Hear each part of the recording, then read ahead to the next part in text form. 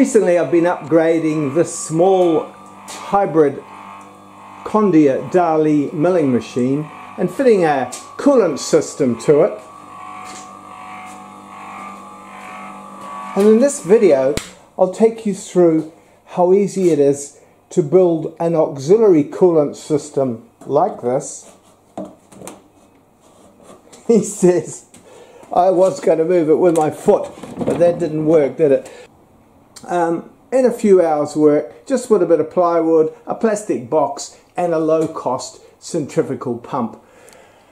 Um, this milling machine was my sort of uh, non production machine. I had a bigger manual mill in this corner but because my work type has changed I've sold that machine now. I've made a bit more space. I love having a bit of room to breathe. I'm a bit of a minimalist. One manual mill is enough for what I'm doing and um, but it didn't have uh, a nicely fitted coolant system so I thought I'd just quickly put together a little auxiliary coolant tank. It used to have a coolant pump in the base of the machine but I never liked that system because it gets stale tramp oil in there. It's difficult to clean out, difficult to drain out, difficult to maintain and uh, access is horrible so I'd rather have a little mobile unit I can wheel it on casters, not with one hand, as I'm finding out. There we are, tucked right out the way there. If I need to walk around the back of the machine, I can wheel it out very easily.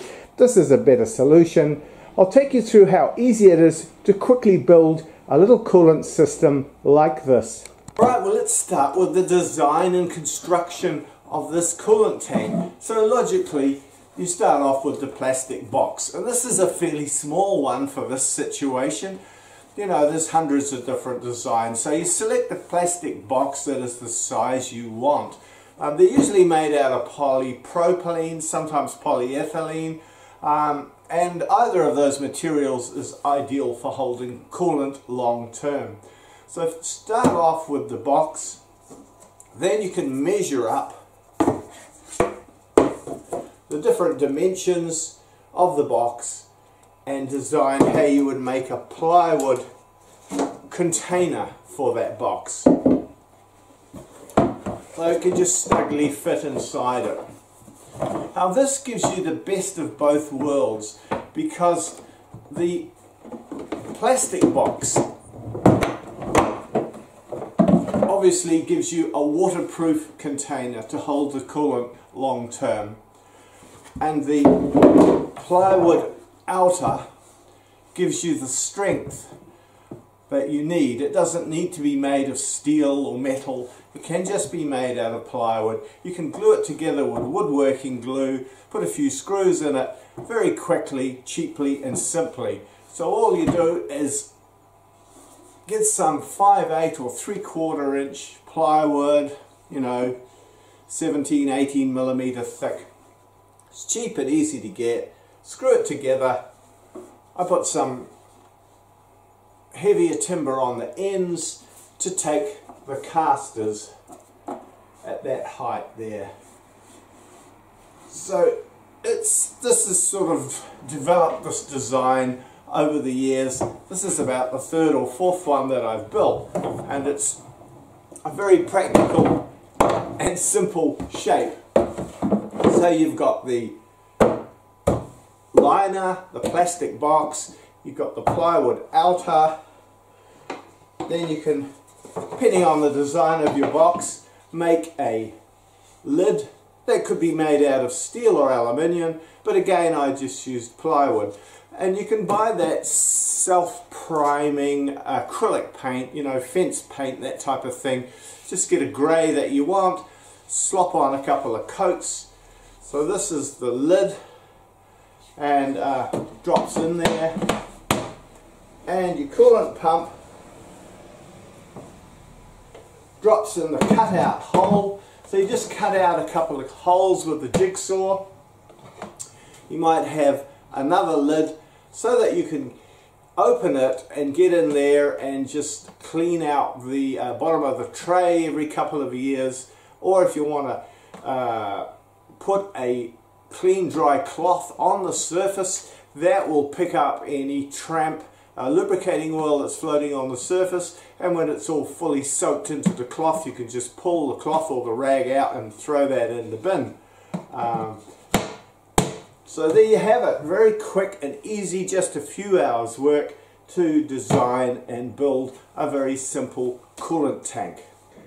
Here's a couple of earlier versions that I've built of these coolant tanks. This was one of my first ones and I just used a couple of 20 litre containers joined together uh, with a couple of plumbing fittings and a bit of rubber hose down in there. Um, it's got a, a wire mesh uh, filter just to keep out the worst of the uh, chips that might uh, end up in the coolant tank and they'll settle in that first tank and the second tank will be a lot cleaner. Um, this is a later version of the design you know it's, obviously it's so handy because you can just wheel them around um, to service them to pull them out to uh, fill them up or to clean them out or to take them outside and tip them out and um, so here we have uh, uh, another uh, filter.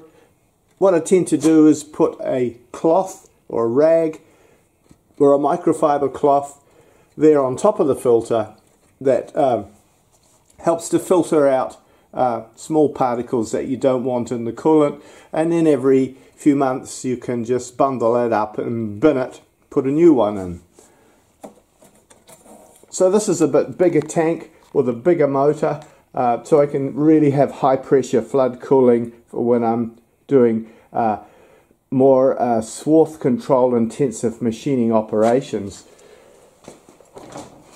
Here's a sketch showing the construction of it. So you can see the base comes right to the outside and that way the uh, box container is sitting on top of it. So they're quite it's quite heavy the coolant tank and it's probably a good idea to have the base uh, fully on the bottom rather than the sides on the base.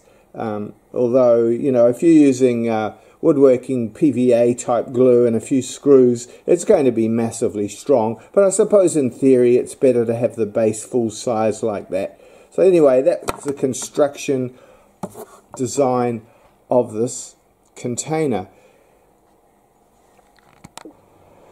Well, most of the connections are pretty self-explanatory, but let's just go through it quickly. So I've just got a single phase connection here to a switchable um, multi-board. It's a noisy little motor, isn't it? That'll teach me for being cheap. I guess you could get those motors in the States for 50 to 100 US dollars. Here in New Zealand, I think it was about 150 New Zealand dollars. So it's probably pretty junky, but it still seems to work okay. So I've got that switching on and off there and that little multi-outlet board. Um, a hose with a, with a couple of Jubilee clips. I just used one of these magnetic uh, type of uh, hose attachments. You know the type. What's it called? Multi-lock, uni-lock. There's different brands. The, the original brand name escapes me at the moment. Um, for the uh, pressure feed system and a simple drain system. I've got a little uh, filter there and it just drains away with a bit of um, half inch hose into the tank. Now I could put a filter in here but I'm only going to be using it for um, sort of low volume, small scale manual work. I've just put a little Jubilee clip on there so it stays together. Um, I don't know that I need to bother with a filter in this situation. On my other machines you've probably seen I've got filters. This is just going to be for manual drilling and a small amount of milling and so on. Um, I'm not going to be generating a lot of swarf. Probably that uh, little filter there will be adequate well, don't copy my exact design. This was an early type of filter. It's a bit too much work, really. You can just roll it up out of a piece of uh, insect mesh that you can buy from your hardware store. You know, the type made out of aluminium or soft stainless steel, is it? Cheapest chips cut a piece off and roll it up that's just as good uh, just a note for your outlet hose coming out there you want to set it so that it continually goes downhill without any loops. So I don't know if I can show that very easily but see how I've got that continually falling down? If, if you've got it looping down low and then coming back up again you'll get an airlock in it and often that will cause a blockage and it won't drain away and you'll think that your filter's blocked up but all it really is is that there's an airlock in your outlet pipe your outlet hose. It's a good idea to put an extension tube on your snap lock coolant nozzle for two reasons. One is that it gets the whole snap lock uh, nozzle and system further out the way so it gives you more clearance. And it also allows you to use a smaller flow rate and a smaller diameter flow of coolant. And I want to explain why that's a good idea because um, I know some of you will probably argue well just turn on a big flood of coolant and be done with it.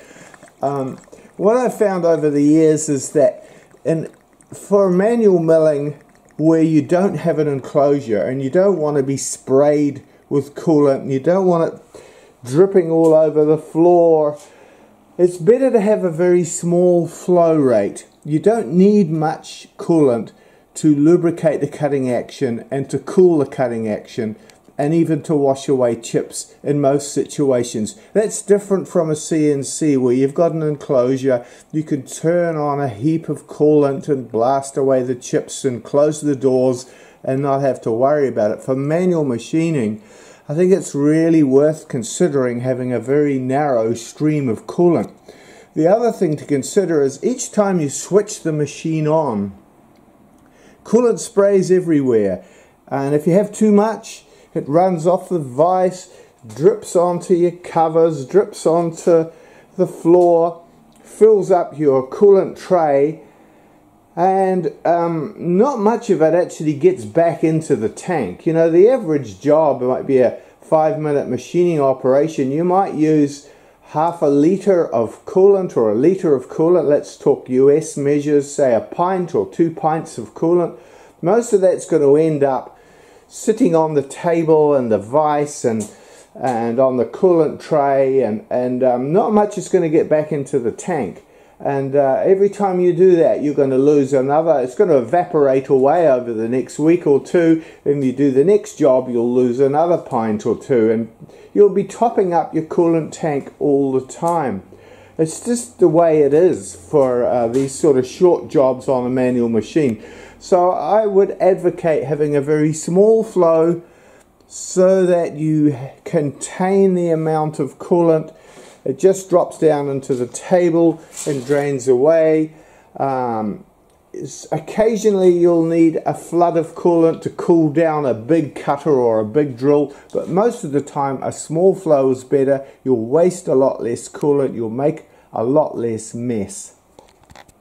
So that sort of leads on to my point of why I've got a separate coolant tank fed directly from the table and then why I'm not using the big collection tray under the machine because I've found over the years that for most small jobs you hardly get any draining back down into the tank inside the machine.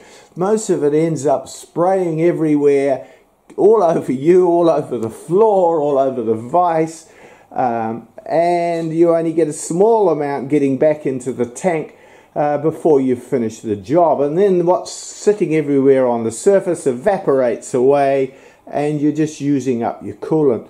Um, so this time I thought, well, I won't have flood coolant. I'll have a small amount of coolant that drains directly out of the table because that coolant down there, you can see it there starting to build up on this job because it's a couple of hours work, is only just starting to get into the base tank anyway. Um, and uh, I just think I'm gonna I'm gonna try it on this machine uh, without having a base tank in use. I'll probably have to clean it out. Uh, uh, actually, I could seal those little uh, filter uh, drain holes there with some silicon and a, a plate. Um, and or I could just drain out the tank, you know, full of stale tramp oil every uh, couple of years and just chuck it out.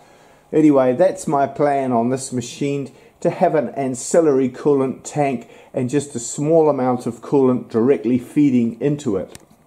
So that's the basic hookup, just a few hours work, cheap and cheerful. Um, but certain types of work, you know, when you're machining tool steel and you're deep drilling and so on, and working with high-speed steel cutters, or you want a flood cleaner, small uh, tungsten carbide end mill, um, there are situations where I just like to have flood coolant. If you found something useful in this video, please like and subscribe. Have a look at my playlist. There's hundreds of videos on all sorts of engineering shop subjects.